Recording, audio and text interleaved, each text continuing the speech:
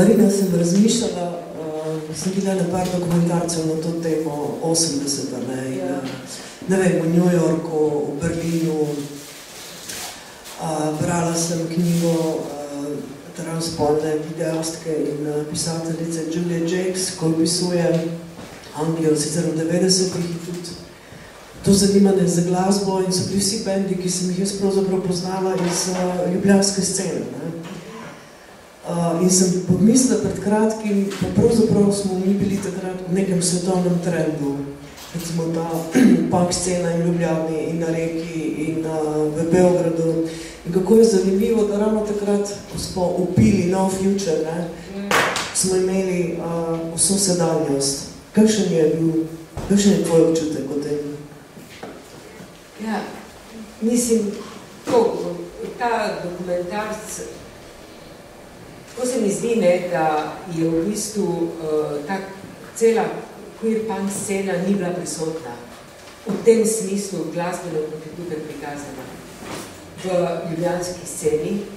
In, um, kaj, ampak eh, to se mi nič ne zdi slabega. Mislim, slabega v toliko se mi zdi, da je šlo za, dva, za dve različni, dva različna svetova toliko, da eh, to, kar tukaj vidimo, je v bistvu čisti, to je kapitalizem, držišče, ena cela zgodovina, ki je drugačna, v bistvu scena. Recimo, zdaj, če pogledamo zdaj tukaj sceno, ne, takšen film, kot je bil danes, bi ga morali pokazati, ne, pokažeš ga v kinodvoru, v kinoteki in imaš eh, sto ljudi, ki pride, v bistvu, ki se hoče pogovarjati in hoče vedeti, kaj je bilo in tudi hoče vsaj v bistvu videti nekaj, kar je se tukaj dogajalo. Ne?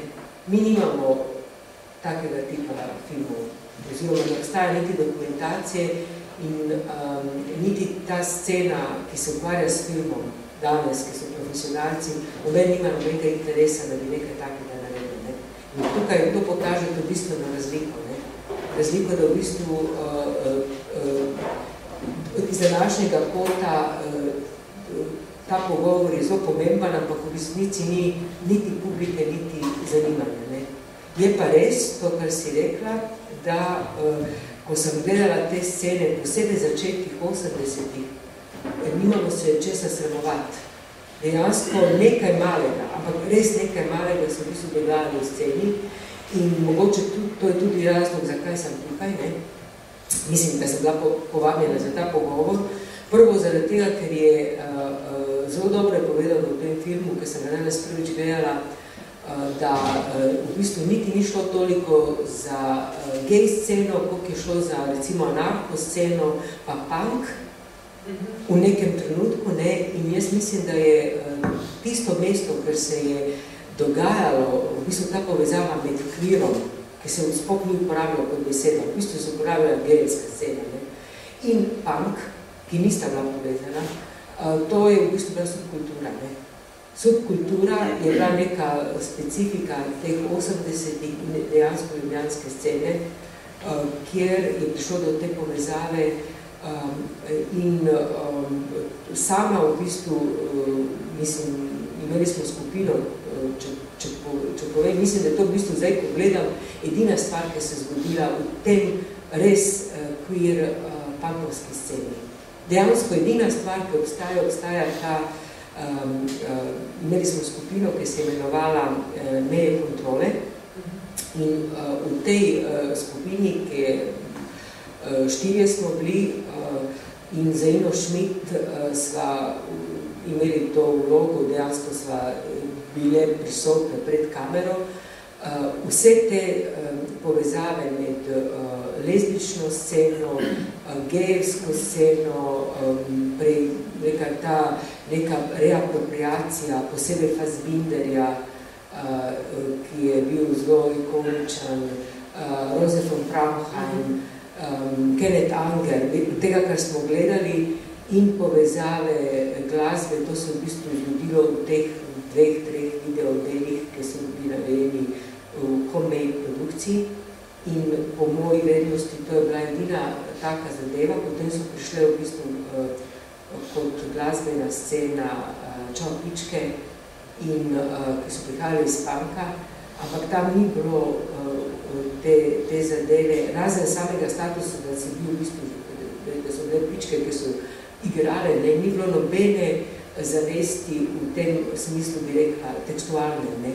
Šele v bistvu z lezbično sceno in z gejevsko, ki so bila totalno ločena, je prišlo do tega, tega res te um, javno uh, mesta, ki se v bistvu govorijo o spolnosti. Ne. Tako ne, ta video, ti videi, ki so bili narejeni, so bili dejansko prvi in uh, dobesedno, zdaj, ko gledam, ne, smo bili špica od špice, od uh, blowjoba do masturbiranja, do pogovora dejansko lingvističnega, direktnega, v lezbični sceni, gejevski sceni, to se je vse dogajalo v teh videih. Kar se mi zdi uh, ne, neverjetno, ker smo živeli v socializmu. Ne? Kapitalizem je že imel to zgodbo, tam je bilo easy, ker tam si imel v bistvu sceno, si šel v sceno in si se v bistvu odločil za življenje in celo življenje si pač puro to.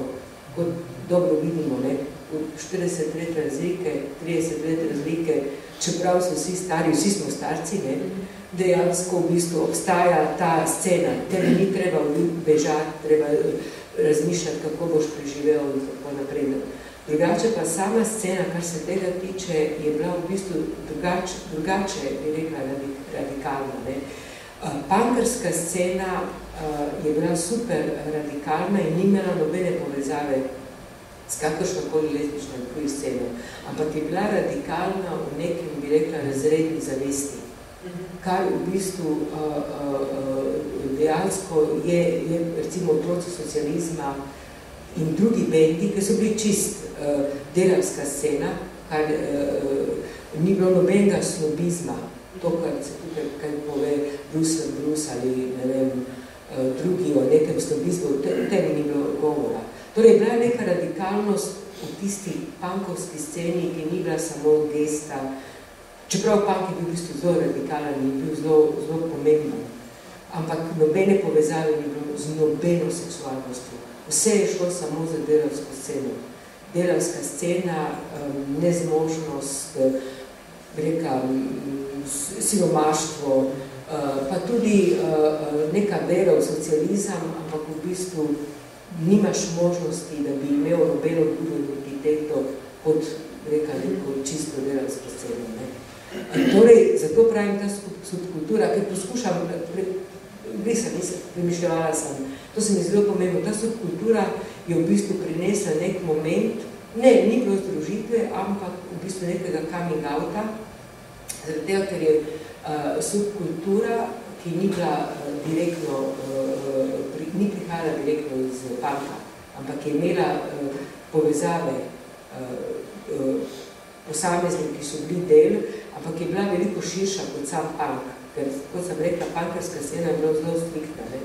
Eh, ta subkultura je v bistvu bila formirana iz uh, res neke mase, uh, več ali manj uh, študentov in uh, tudi južnjakov, ne večina je bila tih uh, internih migrantov, uh, in v bistvu bila je povezana z neko politično idejo, pa tudi folkom, ki je v bistvu uh, uh, na nek način razmišljal o tem, kaj zdaj politično narediti v 80-ih. Ker 80 so bila zelo specifičen, specifičen čas, kako v bistvu na nek način odpreti uh, določene teme in tudi sama, samo drugačno pojmovanje kulture.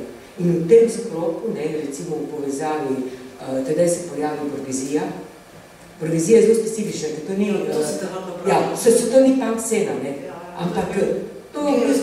Ja, po imidžu, ampak glasbeno je v bistvu bil, uh, ni imel povezave s punkom.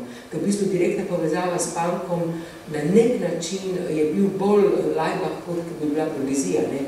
Čeprav lajbah v bistvu povezave ta uh, Genesis P. Orange, uh, ki je, bi rekla, za nas vse, je bil čista kultna figura.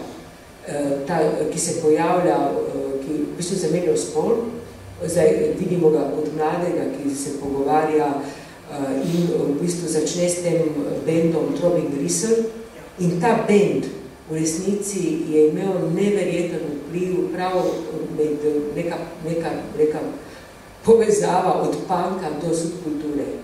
In uh, konkretno sama seksualnost in ta naša skupina in uh, potem, kar se zgodi z Borgezijo, je zelo povezano uh, z določenimi uh, članicami tega benda, recimo Kozifan Tute.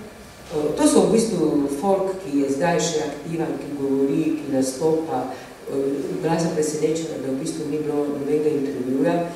In recimo oni povežejo ne samo industri, industri, to industrijsko pač, glasbo, ampak povežejo zelo, uh, na, grejo na to subvertiranje te reprezentacije in pornografija recimo je zelo ključna in celotna bi reka, zadeva je povezana z imičem, uh, Eh, ta, ta, to, da greš čez nek okvir, da greš na neko drugo stran. In to, v tem smislu uh, res smo bili, da smo bili v špici, ampak eh, zadeve je bila zelo, zelo uh, minimalna, ne? ker v bistvu je in je bila zelo, uh, rekla, v subkulturi se je dogajalo veliko zadev. In to, kar se je dogajalo, v bistvu bilo res svetovno. Zdaj, v tej primerjavi, ampak dejansko se pokaže, da ni nobene refleksije. Ne? Ker, ja. Uh, Omenila si burgezijo, ne? jaz se zelo spomnim, ker je Aldo Ivančič, eden članov je bil tudi eden od začetnikov geovskega gibanja in ustanovitelj Magnusa ne? in imel tisti tipični gej imič, pol je bil pa še Darjo Saraval, ki sicer ni bil gej, ampak jaz se spomnim, kadarkoli sem izvidela Darja na teh uh, punk dogodkih še tam v tem klubu v Šiški, ne. On je hodil v štrumpandlih, ne, v podvezicah in zobilo šminke in uh, meni se je to zdelo fantastično. Ampak hotela sem v bistvu speljati na to, da tudi če se ni govorilo recimo konkretno o homoseksualnosti, o transpolnosti, da pa vendarle, kot smo tudi tu videli, so bili ti uh, imidži dosti bolj svobodni, dosti bolj drzni, manj je bilo teh meja, uh, kdo sme uporabljati make-up, to ne sme. Ne? Recimo za Darija, jaz ko sem ga prvi živ, da nisem pomislila, da je gej, ampak sem pomislila, to je novo, ne odštekanje. In je recimo bilo tudi ogromno, uh, se spomnim, fantov, uh, moški, ki so se šminkali, uporabljali šminko in uh, dan, danes bi to bilo dosti težje. Mislim, uh, bi jih prej pretepili, da tega skoraj da ni več. Ne. Tako da v tem smislu mislim, da je punk tudi dopuščal neko svobodo s to svojo estetiko, ki je kontrirala vsemu, ne, estetiko grdnega uh, pretiravanja. Mislim, re, na nek način je res, ampak recimo, ko, ko sem, ko sem, ko sem za Ino Schmidt um, politično dejansko um, imeli cel traktat o lezbični sceni in uh, tudi uh, imeli drag, imič, kar za tisti čas je bila, rekla, totalna revolucija. Dobesedno v bistvu uh, smo igrali, da smo tipi, ki se v bistvu preoblečejo in kot, take, kot taki nastopajo govorijo samo za devoljevanju, ne vem, ce, celotni sceni. Uh, imeli smo, blazen problem je nastal ne, v sceni. Folk je čist popizdo in so, so nas hotili pretekst in to pankerska scena. Ne, ne pankerska kot pankerska, ampak ta, ta tako imenovani underground. Uh mhm. -huh. Tako da uh, mislim, da je bila neka, ampak je bila razlika med punkom in provizijo, no, to hočem reči. Bila je razlika med, recimo, ko smo delali Magnus uh, 84. prvi gay festival, uh, ni, bila je nek, bil je neki spirit skupaj, kar je bilo super pomembno, ampak uh, zadeve so bile uh, uh, precej ločene. Ne? Tako da um, dejansko Aldo Ivančič je bil eden od teh najbolj pomembnih, v smislu tudi imiča, ko je imel ta klon, imič, eh, ta cela scena, ki je prihajala iz, iz tistih časov, eh, ampak eh, ženske so tudi bile, reka, kot pankerice, čeprav ni bilo nobenega govora, zelo so imeli te, te imiče, jaz se spomnim, jaz sem hodila v kombinežih, uh, so me vani,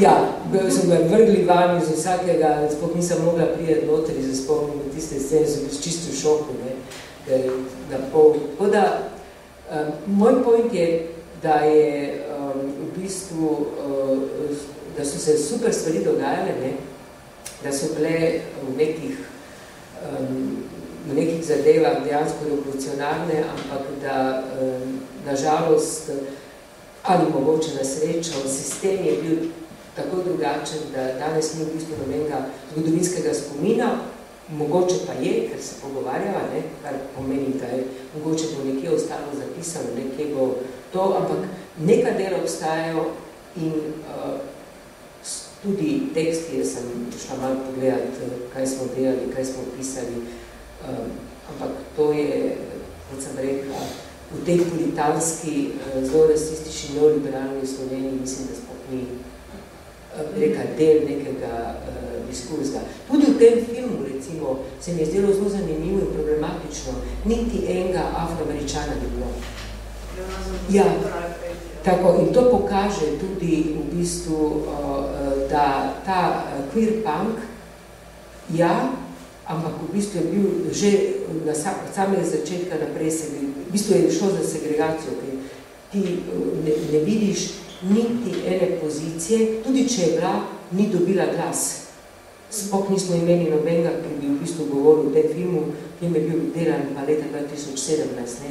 Kar se mi zdi uh, zelo zanimivo in tudi zelo problematično, ker dejansko pokaže uh, na samo konstitucijo družbe, ne, da reka, reka na ta razpol, na to nezanimanje, na to linijo, ne vem, mogoče pa tudi, uh, zato ne preseneča to, ker se, recimo, vse te segregacije in diskriminacije, ki so se dogajale v tej slovenski zgodovini, ne, na nek način. Da, v bistvu obstaja vedno neka ločnica, zelo natančna in v bistvu zelo morbidna med svetovi, uh, ali gre za rasno uh, mesto, ne, ali gre v bistvu za tabu uh, socializma, kar je v bistvu drugačna spolnost. Ne in razredni moment. Ne. Ker punk je bil v bistvu delavska scena, čisti proletariat, ne, na nek način, otroci tistih zavoženih družin in na druge strani v bistvu reka drugačna spolnost, tega pa totalno reka tabu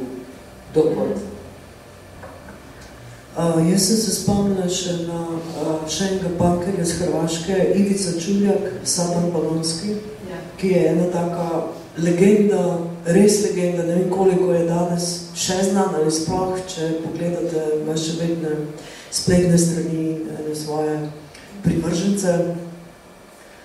Uh, je imel sicer tudi eno zelo divje življenje, preživel je zaradi umora precejšen del svojega življenja na psihiatriji, potem je pa menda bil ustreljen uh, tej vojni, ko se je začela v Jugoslaviji.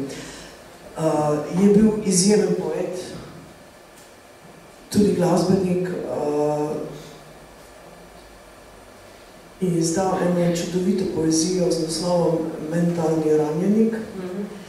No, in on se je pojavljal na odru in tudi v življenju uh, obleče na vse možne načine, uh, tudi z veliko make-upa, zelo drzno v tistem nekem delu Hrvaške pri Vinkovcih je veljal za zelo zarukanega, ja, in, in je bil odkrito biseksualen, ne. Da, naj se vedno spomnim, ne. Uh, Neč treba se v bistvu vedno vprašati, ti si bila urednica Roza Viksa, to je bila pravzaprav prva, prva homo publikacija, fanzine. Kako je prišlo do tega? Jaz sem imel občutek, jaz, ki sem bila bolj zonanja opazovalka, da je to bilo pravzaprav vseeno zelo povezano in s punk sceno. Nekako smo združevali ta novo družbeno gibanje, punk sceno, feminizem, uh, gejovstvo in pa na koncu je prišla lezbična scena, tako pa v bistvu že bil mrtev.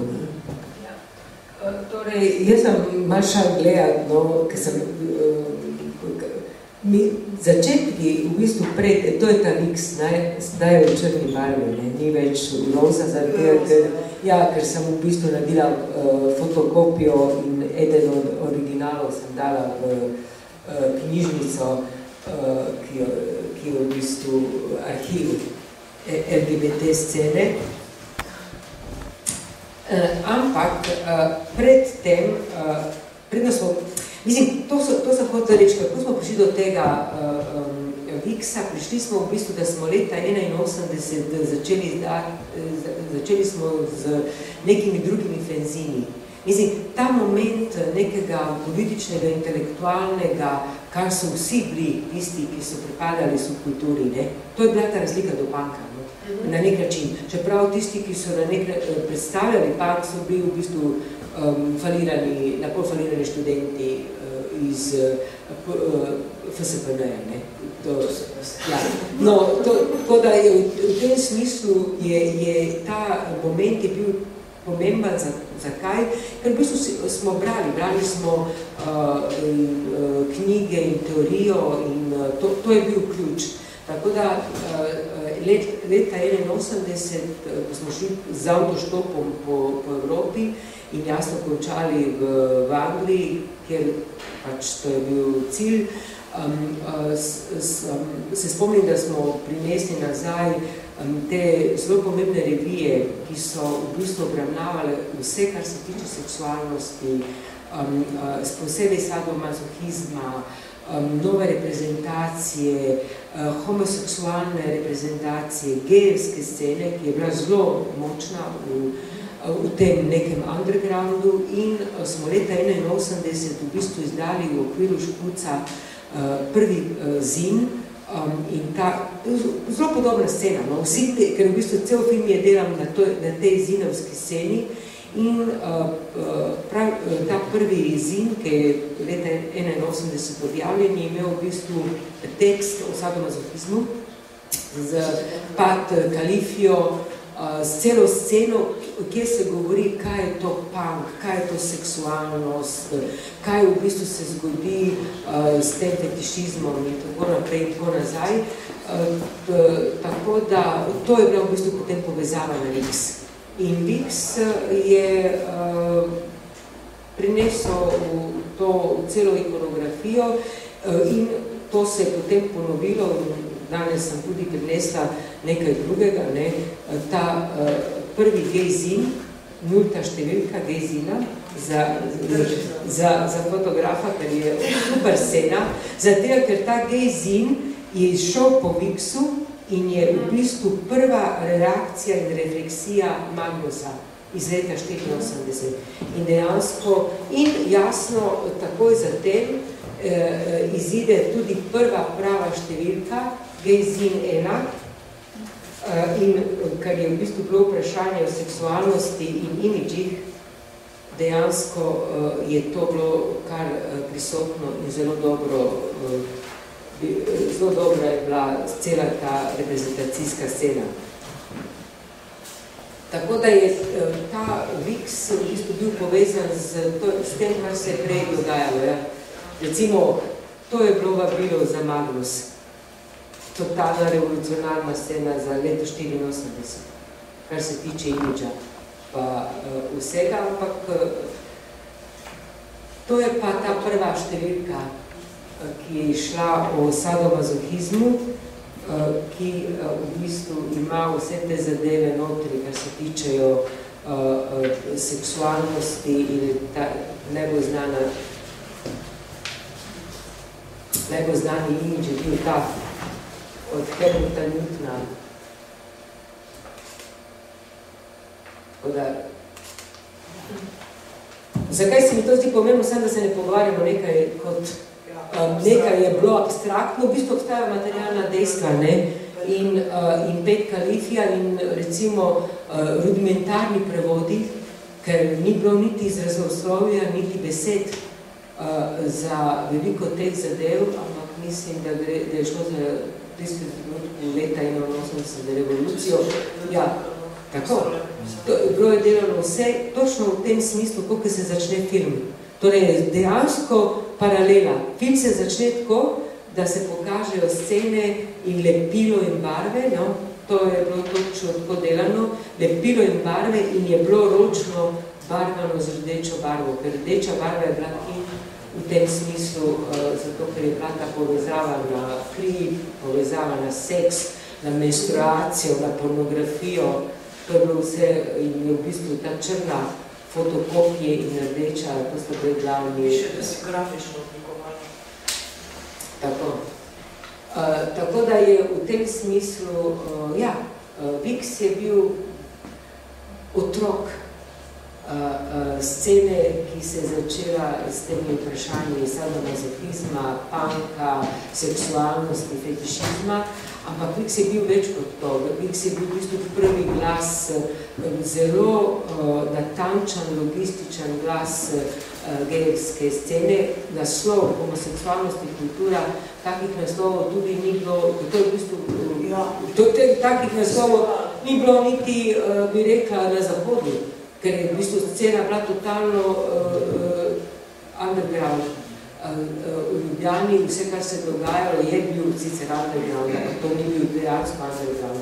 Zadeva je bila uh, pač v prostoru, je bila na ulici, je bila prisotna, so bili plakati, je bila scena. Ne? Kakšno vprašanje ali pa komentar ali o filmu ali o tistem obdobju? Zdaj, jaz imam eno vprašanje isto. A se mi zdi, da današnja, kaj rekel, mlajša generacija, da se dosti zavedajo, oziroma da cenijo, koliko truda in dela je šlo v, bi rekel, v to sceno, to časa nazaj zdaj. Ali da je kar malo pomankanje zaveščanja vsem tega? Jaz, ko mislim, da sploh nis, ko bi rekla, da, da, da nisem groba, ni stvar, da se mora ceniti nekaj. Problem je, ne, da je vse postalo totalno uh, konzervativno. To, to je, rekel, moja poanta. To, da se nekaj ceni ali ne, mogoče bo prišla kakšna generacija, ampak problem je, da je toliko vse konzervativno, toliko je, bi rekel, normativizirano, toliko je, bi rekel, aseksualno na nek način. No, vem, čista stereotipnost se gre, in mislim, da v Sloveniji dejansko se to zelo, zelo pozna, ker je ta cela družbena klima prvič je, je eh, totalno homofobna država in ta homofobija, ki je v bistvu prej in eh, dejansko eh, tangira LGBT sceno, zdaj pa gre še na druge, na druge reka, plasti družbe in na tiste, ki bi naj bi prišli, ki jih od odmine, ampak ta paranoja, ta strah je zelo prisoten. Tako da problem in verjetno v povezavi tudi s celo neoliberalno sceno, ki je absolutno uh, tudi vse bolj normalizirana. In, uh, reka, ker, kot sem rekel, sam ta film to dobro pokaže. Ne? Največji problem tega filma je, da ni nobene, bi rekla, afroameriške pozicije. Pokaže, in to je delano 2017, ne? torej pokaže, da v bistvu to uh, Black Lives Matters dejansko imajo uh, uh, ground, ker niti v taki sceni niso prisotni ne? in da lahko se ta stvar po v bistvu breka brez kritike, torej mhm. eni, drugi, eni druge spok ne, ne, ne tangirajo in toliko, koliko bi lahko morali, ne? če bi šlo za neki skupni boj, zato lahko reče, da v bistvu gre za neko snobovsko sceno. Naša scena nikoli ni bila snobovska, 80 leta. Mislim, cela 80-ta niso bila, nikoli ni bil punk ali karkoli. V bistvu so bile leta boja. Ne? Mhm. In uh, edini moment je ta AIDS, ki, ki je zelo dobro koncentriran in ta končni neki, neka refleksija samega kapitalizma, uh, uh, ki se pojavi čisto na koncu. Ne? Ja, jaz tudi mislim, da v 80-ih scena ni bila niti gejovska, niti katerokoli uh, snobistična, se, se pa kasneje pojavljajo tudi znotraj gibanje te ja, asimilacionistične težnje, ne, ki so še vedno uh, zelo žive. Uh, sem se pohotila še ene stvari dotakniti, uh, da v punk gibanju in te scene v 80-ih, da ste v bistvu to sceno ustvarjali, danes bi rekli, ko več ne živimo v Jugoslaviji, tujci, ali pa študentski uh, migranti, migrantke, recimo ti si iz reke, uh, Aldo Ivančič, Dario iz Pule, uh, potem Neven Korda, ne? In Zemira. Zemira, uh, veliko ljudi tudi iz Sarajeva in tako naprej. Zakaj je bila Ljubljana privlačna, a ne ste pa vi naredili privlačno, med drugim tudi? Ja, ne vem, mislim, če lahko čisto osebno povem, ne, k, na nek način zame ta, da sem prišla pač živeti v Ljubljano iz reke, je bilo povezano z nekom, nekim, ne vem, nekim iskanjem nekaj, nekaj drugih, nekih, nekih drugačnih razmer in Slovenija se mi je zdela zelo privlačna, ker nisem poznala eno slovensko besedo, nisem nikoli slišala slovenščino kot italijanska manjšina na reki in sem rekla, v redu, tam bom šla. Ker pač nobenega nisem poznala, nikoli nisem imela nobene povezave in to se mi je zelo, zelo dobro in zelo je bilo povezano z neko mojo radikalno razmišljanjem. Čim manj družine, čim manj sorodnikov, čim manj te, eh, bi rekla, socialistične familije, mhm. ki ti sledi in eh, se mi zdi, da je bila, bi rekla, nikoli nisem, se mi je, da je bila edina možna pot Eh, drugače pa ostali, ki so prihajali pač eh, študirati in kot sem rekla, mogoče 70-ta so bila na nek način bi rekla taka konzervativna, ampak v bistvu pojav panka, ne, ki ni bil uh, samo uh, neka stvar, ki se kar tako pojavila, pojavila se v bistvu, ki je bila zelo povezana z nekimi mediji recimo radio študent je dejansko naredil najbolj emocionalno vlogo. In ta, ta splet, jaz bi rekel, političnih eh, ali faliranih političnih študentov ne, eh, in nas, ki smo študirali neko filozofijo in politiko in sociologijo in, eh, in na nek način tudi dostopnost veliko informacij. Ker vsi, ki smo prišli recimo iz reke, iz Pule, smo bili del uh, nekega posebnega statusa, če lahko tako rečem. Ne vem, če, če to lahko uporabim to besedo. Isto je veljalo za Igorja Vidmanja, ki je bil iz Gorice, zaradi tega, ker je italijanska manjšina imela neke določene pravice. Ne? In ena od teh pravic je bila, uh, kar se mi ne zdi v bistvu gledano za nazaj brez veze, uh, to, da smo prvič gledali vsi italijansko televizijo, uporabljali smo, lahko smo uh, brali italijanske knjige in italijani so bili zelo znani po tem, da so prevali vse. Torej vse, kar se dogajalo, je bilo takoj naslednji mesec že prevedeno. V Franciji, v Angliji, v Nemčiji. In uh, jaz sem to vse brala, ne, tudi že v gimnaziji. Um, in tako da uh, ta informacija, uh, in spomnim se uh, v Italiji, čeprav Italija je imela zelo uh, potrošniško kulturo in mentaliteto, uh, so se veliko stvari se dogajalo s komunisti. Uh, in da dam en primer, kar se mi zdi zelo zanimivo danes, ker sem pač razmišljala, zdaj, kaj bom govorila. Uh, hodila sem neka dejstva povedati, ne da se mi neke memorije, neke memoare, ker v bistvu smo še, še moramo nekaj postoriti, ne. Sem se spomnila, smo leta 1983 šli pač uh, sem bila povabljena in potem sem tudi organizirala uh, v Rimu se je dogajala eno od največjih uh, gibanj uh, v bistvu panka uh, in znanstvene fantastike in uh, tudi uh, kvirovske scene, ki se je imenovala uh, Lavni fakni uh, mladinske uh, subkulture. In tam smo recimo pokazali veliko teh zadev, ki so se pred tem, torej 83. dogajali v Ljubljani. In uh, uh, toliko hočem reči, da prek pač te neke manjšinske scene, jezika in tako naprej, ne, um, smo uh, dobivali vse te informacije. Ne. In to se je potem vračalo in uh, recimo, ne vem, leta 80 Eh, smo šli eh, z avtoštopom v Rim ali predtem v Anglijo in tam v Rimu je recimo bila zelo močna scena uh, underground teatra, vsi so pač povezava je bila z uh, seksualnostjo. Zato pravim, subkultura je bila zelo ključna, subkultura ni bila samo punk in ni bila samo coming out, ampak je bila tudi vse to, bi rekla, politično premišljevanje, um, reka, kaj, kaj zdaj, kam, kam gremo in tudi reprezentacije. Ne? To, da v bistvu nočeš biti del te nekih stereotipnih heteroseksualnih velika kodificirani, ker smo v bistvu dobivali vse te podatke, da smo gledali od faz medija naprej, vse to bilo povezano. Tako da je in diskurs, jezik, politični, politična, bi rekla, agenda je bila zelo, zelo pomembna, ne? da greš prevaja sadomazohizem, fetišizem, da greš prevaja pat kalifijo, to je povezano s tem, ne?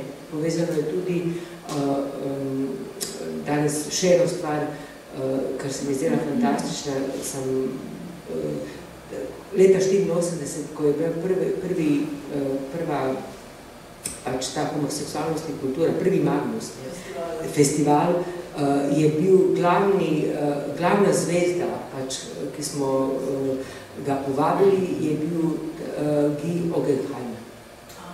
Ja, francoz in dejansko je bil on v tistih časih umrl AIDS-a, leto zatem in tudi prinesel AIDS v, v, v Ljubljano. Ne.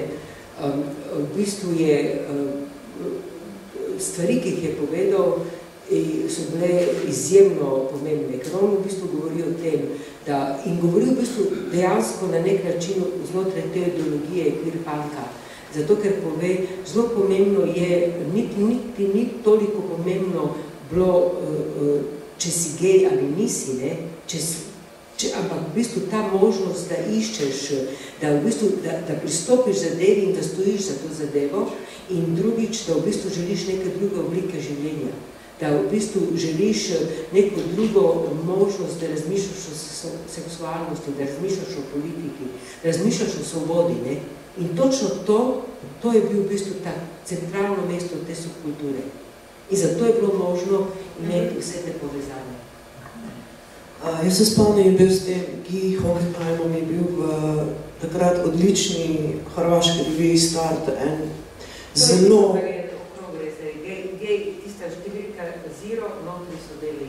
Ja, zelo, zelo dober intervju, po moje, en prvih, ki se, kjer se ni šlo za, ne za neumno vprašanje, ne za viktimizacijo homoseksualnega aktivista ne, v tistem času. Še kakšen komentar ali vprašanje? Tam je notri, imate tisti gejzin, številka nič in notri so deli tega intervjuja. To sem ga prinesla. In dejansko so fantastični, fantastični deli, so vse v hrvaščini in tukaj bo se da razumeti in super stvari. Ker v bistvu je zelo zanimivo, da po, če lahko povem, zelo zanimivo je, kako je scena bila v bistvu dejansko up to the time. Ker po prvem Magnusu takoj prvi nični številka nič gejzina izide kot refleksija tega, kar se dogaja v Magnusu. Ne? Ta zin, ker sem ga prinesla. In notri so vsi teksti, ki so po celi jugi šli, in so bili totalno proti, totalno so bili, bi rekel, stropeno proti Magnusu, ampak je bilo pa tudi ta intervju z Guy Ogenheimom, pa še nekaj mogoče neke minimalne refleksije, ki so se pojavile in to je bila tista prva stvar, ki je bila takoj za tem je šla in za tem je sledil pa Gezi številka Ele. In to se mi danes delo fantastično, kakšna je bila moč in to me spomne tudi na naš film, katere, ja, ja zaradi tega, ker v bistvu ti in ostali točno uh, govorite dejansko natančno o tej refleksiji, o, tem, o tej možnosti v bistvu razmišljati politično za nazaj in premisliti, kaj se je dogajalo in danes, ko sem imela ta uh, gejzi nič pred sabo, sem rekla fantastično. Da imaš tak uvodnik, niti ne vem, kdo je pisal Geripe, in da v bistvu takoj za tem, nekaj mesecev za tem imaš v bistvu refleksijo tega, kar se. Ne? Mislim, takih stvari smo ni. Danes jih nimaš več. Um, še zadnjič, kakšno vprašanje? Refleksijo. To bo stalo za zgodovino. Računamo na to. Um, ja, nič, če nimaš ti še kaj uh, urgentnega za dodati, kakorkoli bi jaz uh, zaključila ta pogovor. Uh, hvala, ker si prišla. hvala za povabilo. Mislim, ja, absolutno z veseljem. Da se to v bistvu, mogoče vam za reči to, da se mi zdi super in uh, da v bistvu je uh, uh, na vkljub vsemu, ne, mainstream je totalno propadel, ne, ampak uh, bi rekla, druge scene in drugi diskusiji na nek način se zavedajo te zgodovine in da je zadeva, da je posneta, da obstajajo ti dokumenti, to se mi zdi super pomembno in mislim, da je edino to mogoče tista zadeva, ki bo iz tega konzervativnega, kompletno um, reka, puritanskega uh, živ, neoliberalnega življenja mogoče prineslo do neke druge, dejansko, kot rečejo, punk revolution, ne, ali punk ta neoliberalizem, ki je katastrofalen. Ja, hvala za sodelovanje.